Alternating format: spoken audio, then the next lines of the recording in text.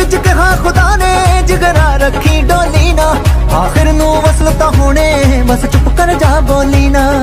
ਆਖਿਰ ਨੂੰ ਵਸਲ ਤਾਂ ਹੋਣੇ, ਬਸ ਚੁੱਪ ਕਰ ਜਾ ਬੋਲੀ ਨਾ।